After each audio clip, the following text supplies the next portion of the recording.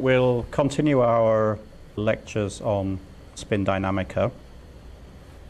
Just to remind you where we were, spin dynamica contains a set of packages to do with the quantum mechanics of spin systems, the spin dynamics of spin systems, routines for doing simulations, and various other things.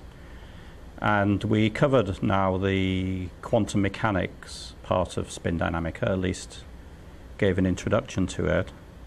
So we looked at Hilbert space and Liouville space, how spin dynamica handles those different types of spaces. I gave some demonstrations of operators and superoperators and how they can be represented as matrices in Hilbert space for operators and in Liouville space for superoperators. Uh, what I'd like to do now is show you some of the spin dynamics aspects, so how spin dynamica enables one to calculate the, the time-dependent evolution of spin systems, which is what we need to do to simulate NMR experiments. And I'll, I'll mainly be dealing with this, the topic of generators, which is how we specify the, the driving force for spin evolution, which could be spin Hamiltonians or it could be relaxation superoperators, and combinations thereof, and how those may be assembled into specifying events and how the system then propagates under, under those events. So this is the mechanism for setting up and simulating and analyzing NMR magnetic resonance experiments in general. And then I want to cover some of the techniques for simulating spin systems. Spin Dynamica as it currently stands contains four main routines for doing simulations. So these have been set up so that the, the results of simulating magnetic resonance experiments become available with just a, a very minimum of user programming. So these are usually just one-line commands which enable you to simulate rather complex experiments in ideal cases. So the internal problem of setting up the system so that Spin Dynamica knows what to do with it is to some extent handled internally. And these are things which are expanding as Spin Dynamica develops. Today I'll probably deal with mainly just the trajectory and the signal 1D routines trajectory allows one to follow the fate of different spin operator components through the evolution of a system. And signal 1D, as its name implies, allow, enables one to simulate one-dimensional NMR spectra. These routines, transformation amplitude and transformation amplitude table, useful for calculating the performance of particular spin systems to do particular pulse sequences to do particular tasks. And I think I don't have time to cover them today. I want to mention that all simulation techniques are associated with an ensemble average routine, which enables one to repeat simulations for an ensemble of different parameters. And that's very useful for calculating, for example, powder averages in solid state NMR or averages of the distributions of some parameters in solution NMR for disordered systems and over space uh, so that one can simulate uh, imaging experiments. So we'll see that as we go along today. So we've handled how to start up Spin Dynamica. We've covered the topic of Hilbert space and spin operators, and we've covered the topic of Liouville space and superoperators. So now let's look at propagation. Now a little bit of theory here. There's one equation which is central to spin dynamic, which uh, basically is the differential equation, a very simple differential equation, which determines how does a spin system, or in fact an ensemble of spin systems, evolve in time. And that equation is called the Liouville von Neumann equation. And it has this appearance. So it's just the time derivative of the density operator, Rho, the density operator, is the way in statistical quantum mechanics that we specify the state of the ensemble of spin systems. So when we do NMR experiments, usually we have a large collection of formally identical spin systems, usually one system per molecule, and it would be too laborious to track the quantum mechanics of each individual spin system when we're dealing with a macroscopic number of systems.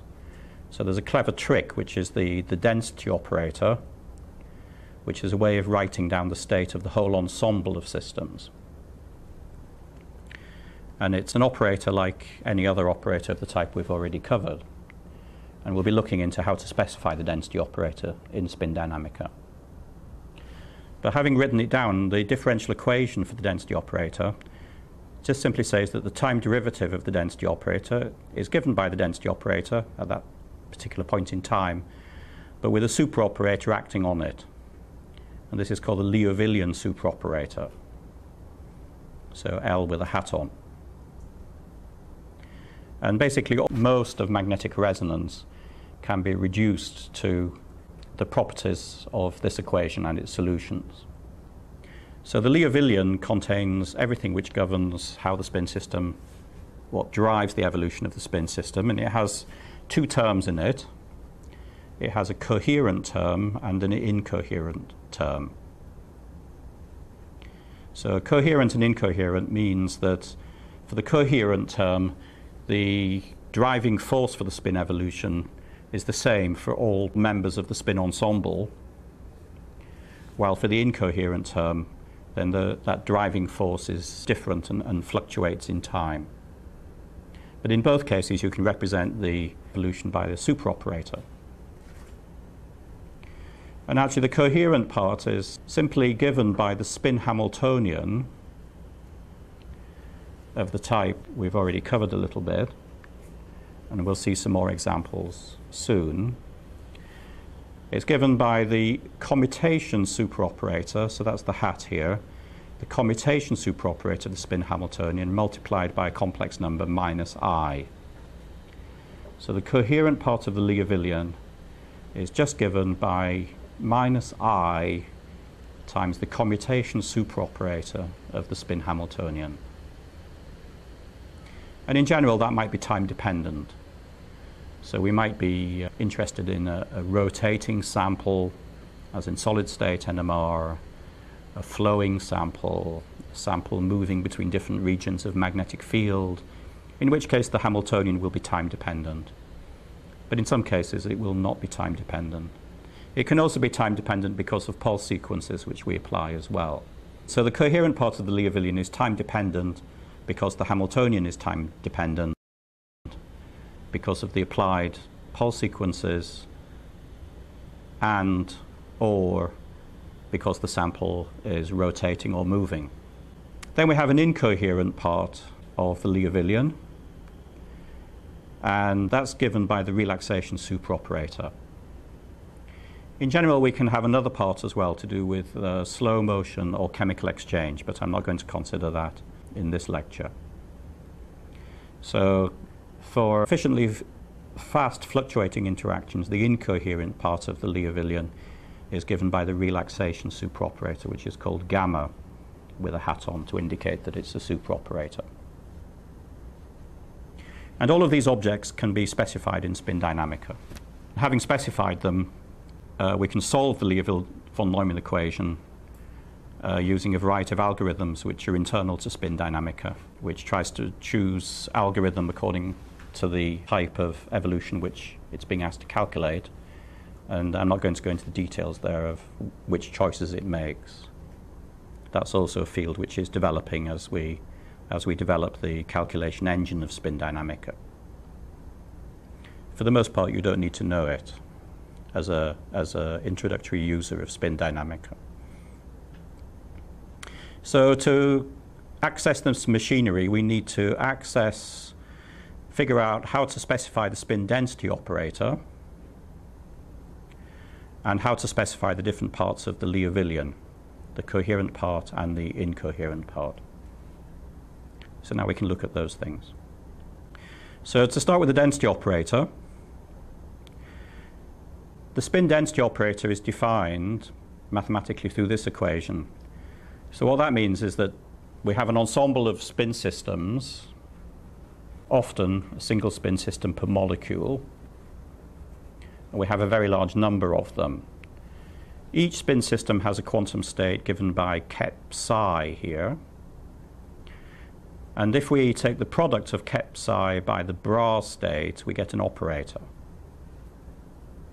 And if we average that operator, that's the over bar here, over all members of the ensemble, that's the definition of the density operator. And one important feature of the density operator is that the trace of its matrix representation must be unity. That's essentially equivalent to a statement that the sum of all populations in the system should be unity. So a rigorously defined density operator has to have that property of unit trace. However, having said that, very often in NMR experiments in particular, we often are a little bit loose about that and we use density operators which don't have that property just for convenience. So if we load here spin dynamica, in this case we set the system to two spins a half, then it would be common to start the evolution of the computation of spin evolution by using a density operator proportional to the IZ operator, as discussed last time. And in, in, a great deal of NMR theory and textbooks, then this is actually how one, loosely speaking, starts the evolution of a spin system in thermal equilibrium. It's not rigorously true, though, because the, the trace of that density operator is not 1. And we see that if we just evaluate the trace of its matrix representation, the trace is 0. So that's not actually technically a rigorous density operator, but it's convenient to choose this rather than the more rigorous formula for a density operator. And it's acceptable for spin systems which are only weakly polarized which is the case if one's not dealing with hyperpolarization experiments, for example. And Spin Dynamica accepts that as a density operator without any objection. But one should be aware that it's not the rigorous way of doing it. There are some cases where we do need a rigorous definition of a density operator, and Spin Dynamica does provide routines for doing that. So, for example, here we show how to specify the thermal equilibrium density operator for a spin system in a certain magnetic field and a certain temperature, defined in a rigorous way. So let's just have a look at uh, these routines here. So let's suppose we have a two spin a half system. And let's suppose for the sake of argument that we're dealing with a magnetic field of 11.74 Tesla with a temperature of 300 Kelvin. The first way to, thing to set up is the Larmor frequency of the nuclear spins in that field. And there's a routine in spin dynamic, a Larmor frequency, which basically takes any isotope. In this case, the one here indicates protons in a given magnetic field. And this has been implemented for every isotope with spin in the periodic table and provides the Larmor frequency at that for spins of that type and in that field. The result is in radians per second. Often to visualize that, we need conversion to hertz, which we do by converting it by 2 pi. And then this um, appendage here in Mathematica just puts it in a convenient uh, numerical form for us with a power of 10. So this would be close to minus 500 megahertz for this particular field. As I said yesterday, I think the, the minus sign is technically correct here. This is a negative precession frequency for spins with positive gyromagnetic ratio gamma. And there are cases where that negative sign is important, so it's kept throughout spin dynamica.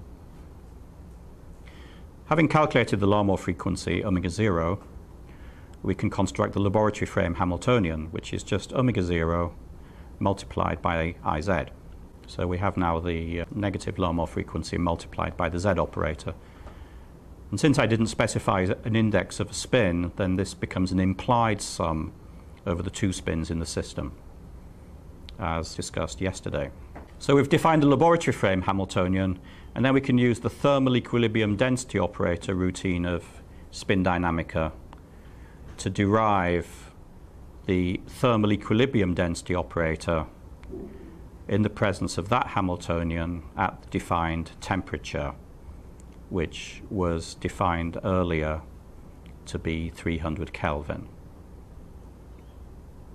And that can be done for any Hamiltonian at any temperature. The re result we get is not immediately visible in a accessible form in this version of Spin Dynamica.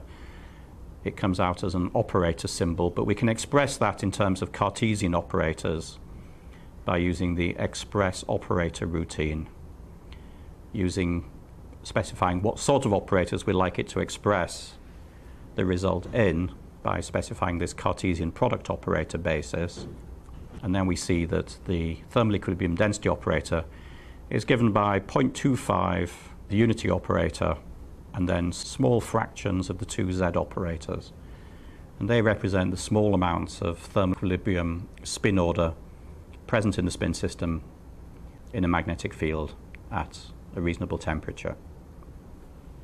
This is a rigorous density operator. If we could evaluate the trace of the matrix representation of it, and the result should be unity, as it is, indicating that this is a rigorously formulated density operator.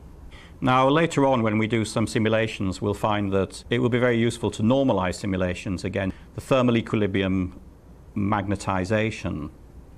We'll return to this, but this is uh, set up here here I've used the operator amplitude routine to extract from the thermal equilibrium density operator the part which is proportional to Iz. And the result is just these small numbers which are the coefficients of the Z operators. And we'll be using that thermal equilibrium magnetization later when doing some simulations.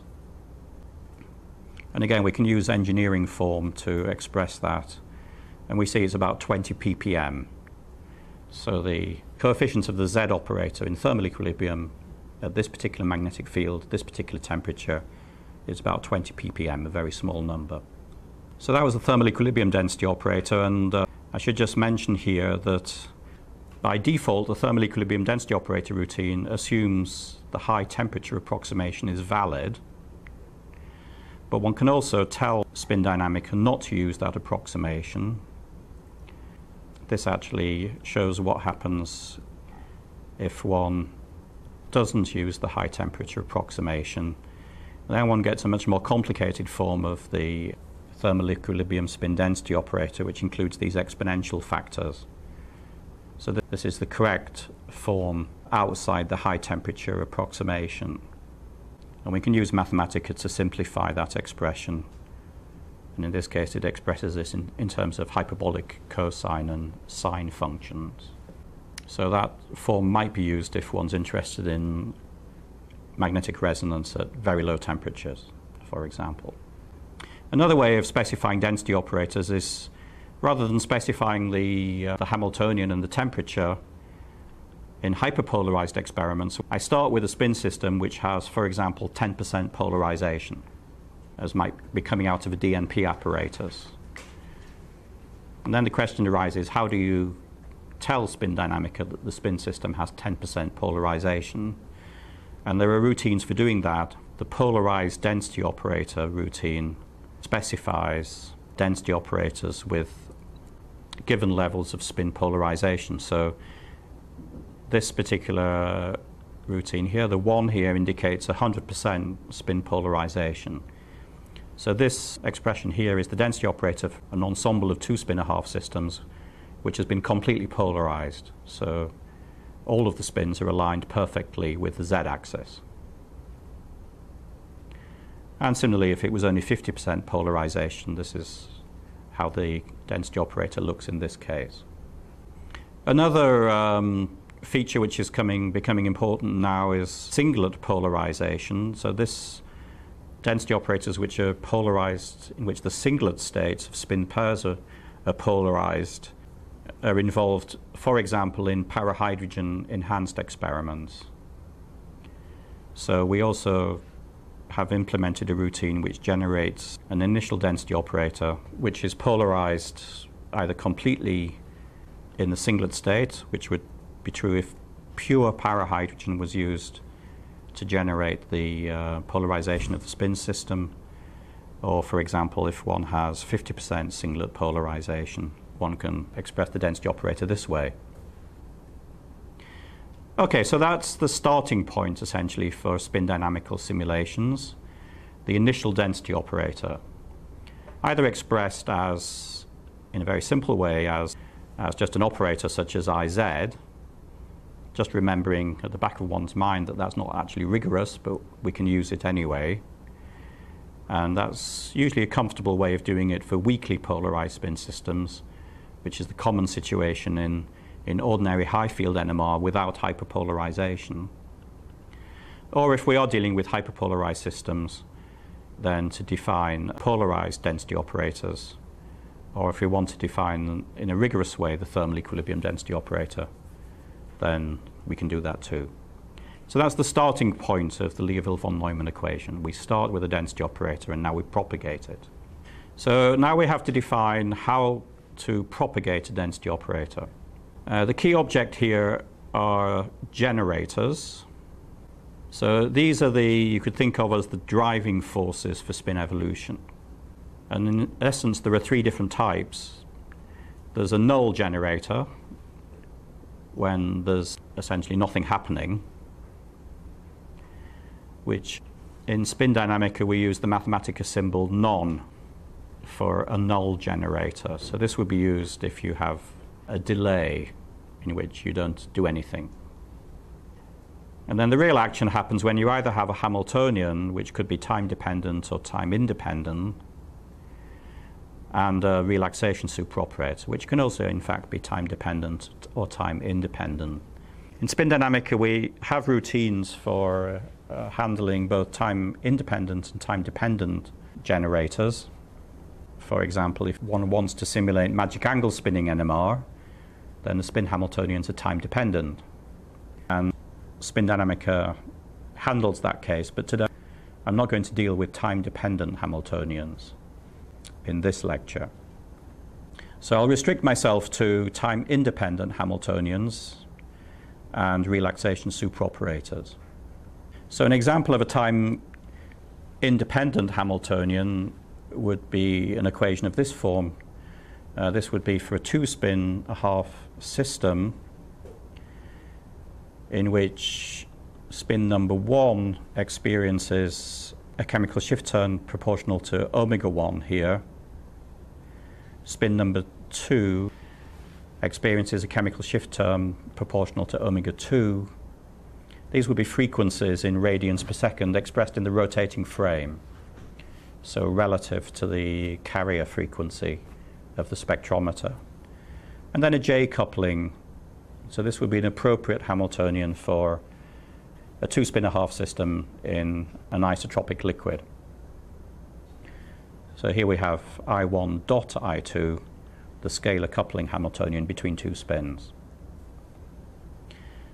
And in general, you can write down any set of operators with symbolic or numerical coefficients, including dipolar couplings or J couplings or quadrupole couplings or whatever, simply written as equations and used but then by spin dynamica.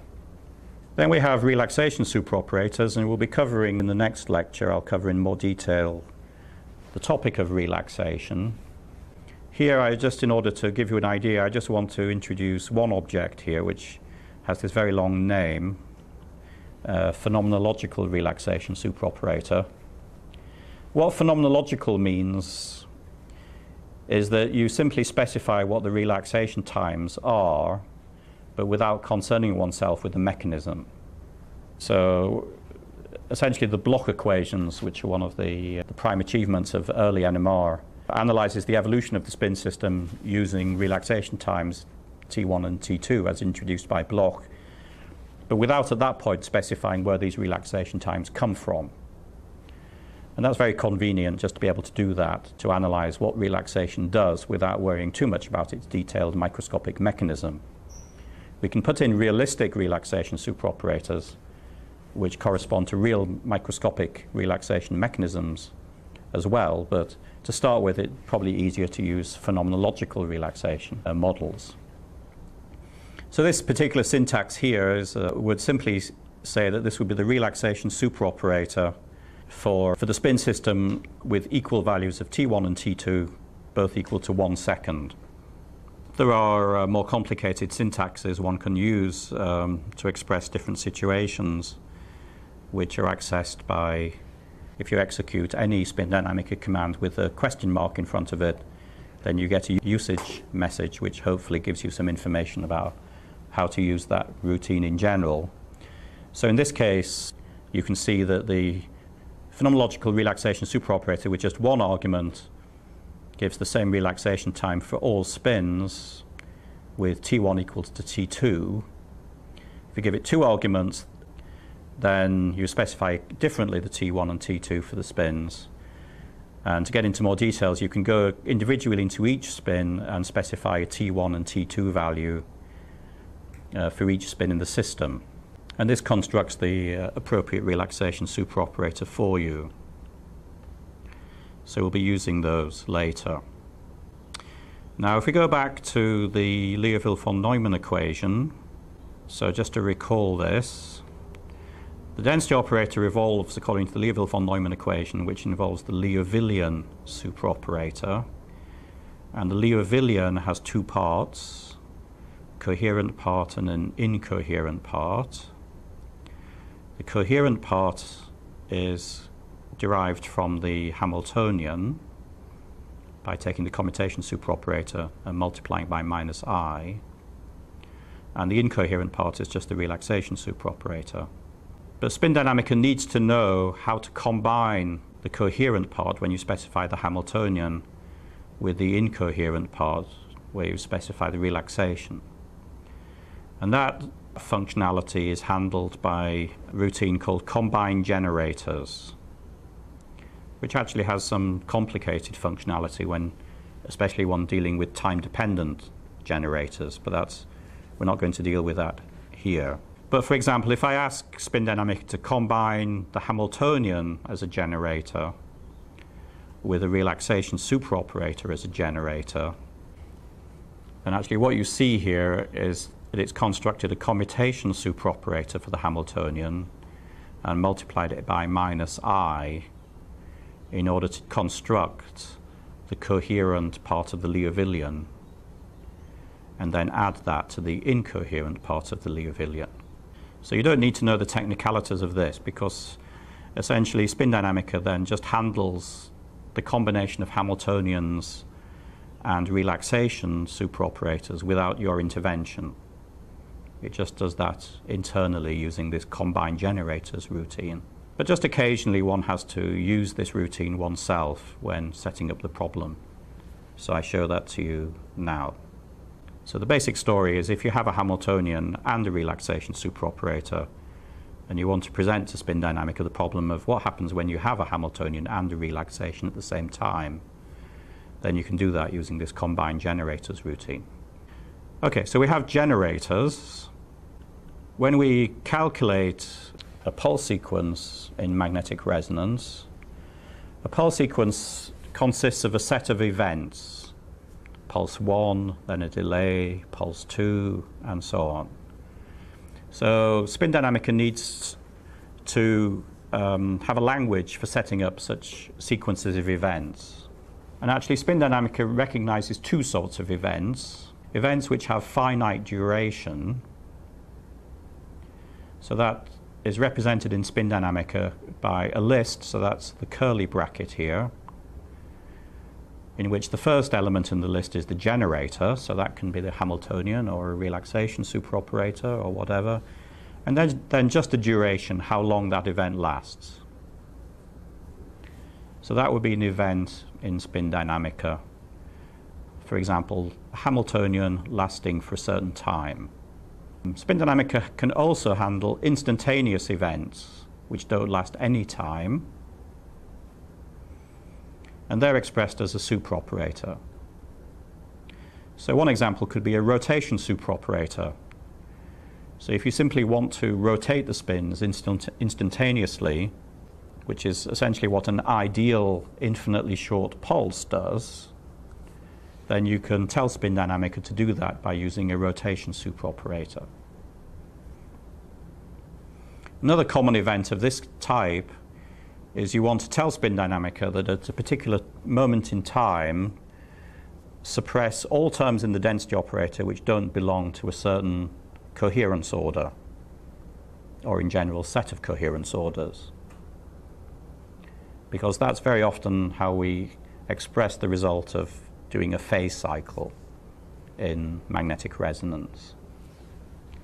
So that's done just by including a coherence order filtration superoperator in the list of events. And uh, we'll probably see some examples of that. So a single event can either be instantaneous, in which case it's just a superoperator, or finite, in which case it's a pair of a generator paired with how long that generator acts for. And now we can assemble a list of events, uh, a sequence of events, just by chaining these events together in chronological order.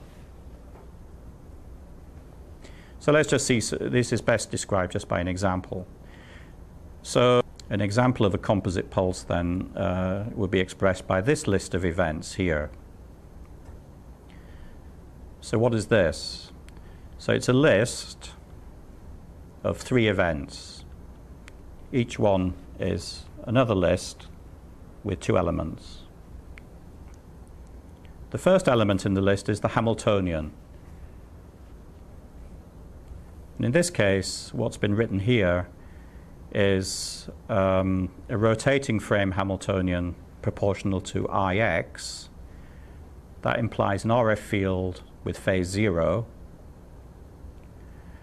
with a magnitude of 1 kilohertz, that's the 2 pi times 10 cubed, meaning 1 kilohertz.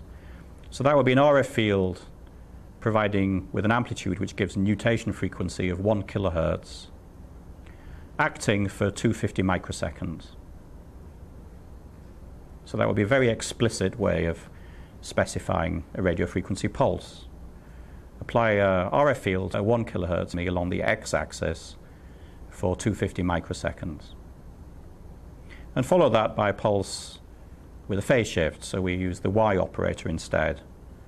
Again, same amplitude in this case, uh, but twice the duration, 500 microseconds. And then the third pulse, which is the same as the first one. So again, we, we specify a list of events just as a set of Hamiltonian duration pairs. So that will be a way of specifying a composite pulse in a very explicit way. And when executed, then uh, you see the expansion in terms of the spin operators here. Because uh, at the moment I'm, I have a system of two spins a half, each operator Ix by default expands into the sum over the involved spins. Now we may want to do that without thinking too hard ourselves about how long the duration should be and so on. And there's different ways of doing that. One way is to do a little bit of programming here. So I just give an example here. Here I'm saying that the nutation frequency, that's the amplitude of the field expressed as a frequency, is 1 kilohertz. From that I can derive the 360 degree pulse duration by taking 2 pi divided by the nutation frequency. And from the 360 degree pulse duration, I could define the 90 degree pulse duration just dividing it by 4, and the 180 by dividing it by 2, and then using those symbols in the definition of the composite pulse. The result is the same. But it's probably a bit easier to see uh, what one's actually doing there.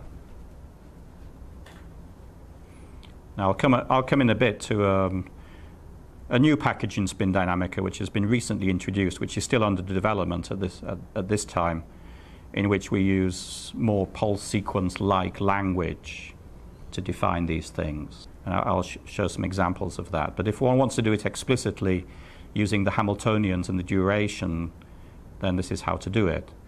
And just to emphasize, these Hamiltonians can be absolutely any operator or relaxation superoperator and so on.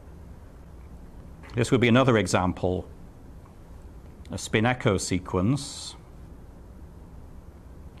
So here I've used a little bit of Mathematica syntax for defining a function. So without going into the technicalities of Mathematica, this is how you do it. This is something which one is best to investigate in the Mathematica website or the help files, how to define functions. But there's, just by example, what one's defined here is a pattern. Here one's defined a symbol saying spin echo, which if it acts on a single object, so this underscore here indicates a pattern, then substitute that pattern by this, in which the object which is matched then appears and is called here tau, is then uh, appears here in the list. So here I've just used a small amount of Mathematica programming to define uh, tell Mathematica to match a pattern and then substitute it by something else. So once this has been executed, then whenever uh, Mathematica sees spin echo with a single argument, it substitutes it by, by this, substituting the argument in. So spin echo now of one second would now have nothing for half a second. So that's a delay a null generator, none. In this case, I've used the rotation superoperator to indicate an instantaneous rotation by pi around the x-axis. So I haven't bothered here with a finite duration pulse. This would represent an infinitely short pulse uh, and infinitely ideal generating an instantaneous pi rotation. And then again, a null generator acting for half a second. So that would be just the way of defining a spin echo sequence. And of course, you can assemble arbitrary complicated pulse sequences using this type of syntax. Now, to facilitate this process, and this is still under development to some extent, but uh, we've implemented a pulse sequence object which lets one specify these event lists in a more convenient way. So this would be a pulse sequence object containing three pulses. The flip angles and phases of the pulses are indicated. Uh, but the nutation frequency of the pulse, the amplitude of the pulse can be specified. And then it calculates the durations needed to do that appropriately. So that's um, somewhat more convenient um, in some cases. And there are pulse objects, there are delay objects, and so on. And I think we'll see some examples of that later. Let me just proceed now and show a little bit how those um, objects are used. So I covered now how to define the density operator, which is the start of the propagation, and how to define the sequences of events under which the system should propagate. So I'll now introduce you to one of the central Spin Dynamica routines, but actually not one which you often need to use yourself because it's usually just called by um, the simulation routines, which I'm going to cover after the break. But sometimes you do need to access, or it's convenient to access this routine, which is called NPropagate. It's the numerical propagation routine, which solution of the differential equation, the Liouville von Neumann equation. So basically, NPropagate performs the task of starting with a given density operator and propagating it through an arbitrary sequence of events and then returns the final density operator. Hmm. So we could look at our composite pulse again. So, and this gives you an example. So we, in this case, have just set the spin system to a single spin a half. The composite pulse here has been defined in, as described above. Here I've used the pulse sequence function, which enables you to to assemble a sequence of events using specifications which are sort of user-friendly specifications a pulse with a certain flip angle and a certain uh, phase. Three of them chain together here. And for the whole pulse sequence here, I've used a global specification saying that the nutation frequency should be one kilohertz. And then the uh, routine then calculates the appropriate durations of the events to, to make, that, uh, make that correct. So that would be now the composite pulse. And I'm not going to trouble with what this output here means. It's maybe at, the, at this point not so, not very relevant. It's internal, let's say, to Spin Dynamica. But that's now defined a composite pulse sequence of events. And here I just propagate using NPropagate is the propagation routine. This syntax simply means propagate a density operator iz through a composite pulse and return the result. It set up some operator bases and so on. This again is internal to Spin Dynamica. You don't need to worry about it.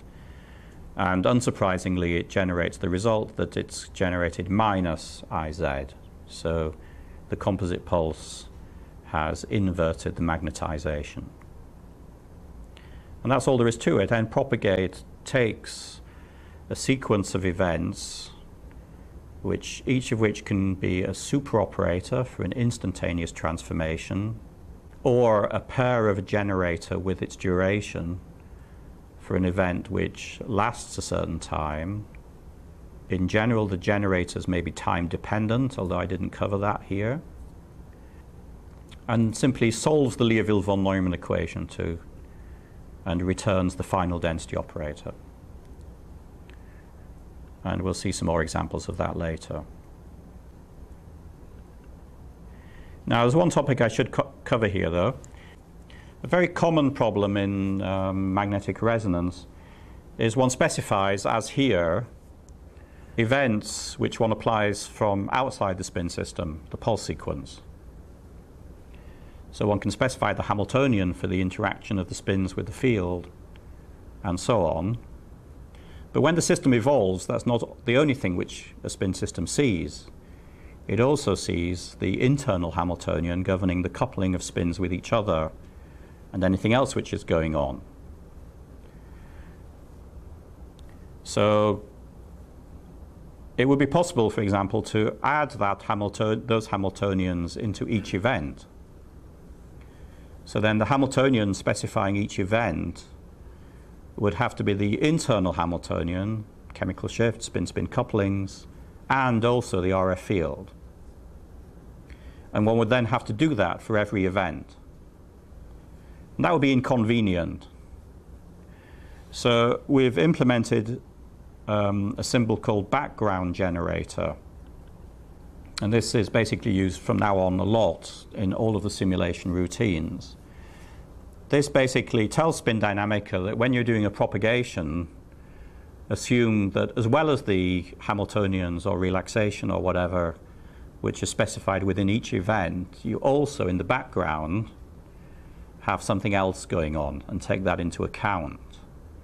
So very often the events then specify a pulse sequence while the background generator specifies relaxation or internal Hamiltonians. Uh, but in fact, one's free to do use these routines as in other ways as well, but that's the usual way of doing it. So a simple example here might be, uh, again, if you have a, we do a composite pulse again. So this is the same specification for a composite pulse using the pulse sequence routine in which we've specified that the pulses have a finite amplitude, given in this case by nutation frequency of 1 kilohertz. And suppose we're interested in analyzing what such a pulse sequence does, but in the presence of a resonance offset. Well, the resonance offset adds another term to the Hamiltonian, and that term has to be active during all the events. So we could add them, add it individually into each event, but it's more convenient to use the background generator. So here I do the propagation again, So propagate during the composite pulse, starting with the IZ density operator, but in the presence of a background generator, which in this case is a resonance offset. This uh, indicates interaction with a field along the Z axis, that's the IZ, with magnitude in this case 1 kilohertz. So this would be saying propagate during the composite pulse but with a resonance offset of 1 kilohertz and start with a density operator IZ. And this time we don't get just minus IZ, we get some extra terms as well, and that's because the composite pulse doesn't work perfectly when you have a resonance offset. Here's another example. So again, let's just look at a single spin a half system. Here, I just have a delay do nothing for 200 microseconds. That's part of a pulse sequence object. I start with IX, that's transverse magnetization,